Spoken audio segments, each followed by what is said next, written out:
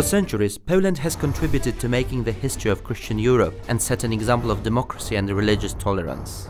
However, in 1795, the state was divided among three neighbors and removed from the map of Europe. Throughout 123 years of national bondage, Poles persistently strove for freedom.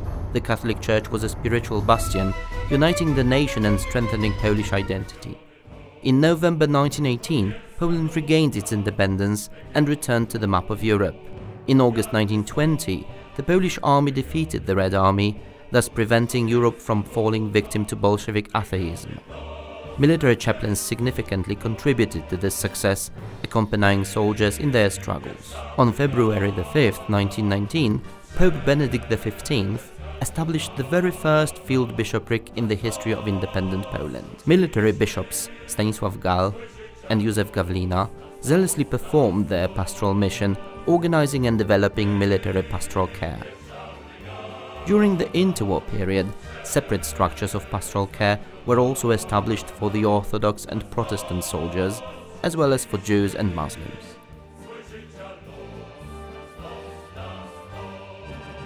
Poland again disappeared from the map of Europe following the aggression of the Third Reich and the Soviet Union in September 1939. Poles took up the fight for freedom both in the occupied territory and in the structures of the Polish armed forces in the West, supported by Catholic chaplains, as well as the clergy of other Christian denominations and different religions.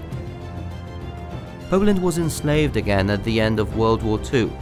At conferences in Tehran, Yalta and Potsdam, the three victorious powers, the Soviet Union, the USA and the UK, made Poland a dependent state of Moscow. During the decades of communist rule in Poland, the Catholic Church and the military ordinariate were persecuted.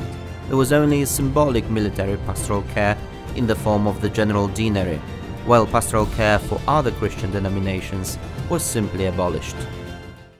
The political changes of 1989 marked a new chapter in the history of military pastoral care. In January 1991, Pope John Paul II established the Polish Military Ordinariate. Its three subsequent ordinaries, Archbishop Sławoj Leszek Głódź, the late Bishop Tadeusz Płoski, and the current Bishop Józef Guzdek, together with military chaplains, have preached God's word, administered sacraments, and accompanied soldiers in their day-to-day -day struggles for safety and peace.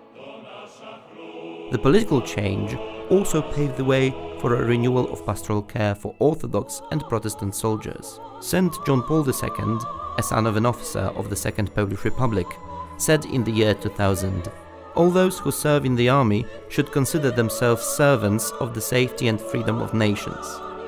The chaplains work with soldiers and civilian staff of military institutions, as well as officers of all other uniformed services. Similar duties are performed by Orthodox and Protestant military pastors.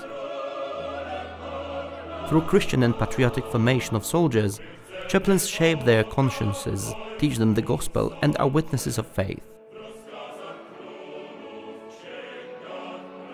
They accompany soldiers in their daily service under banners with the motto God, Honor, Homeland.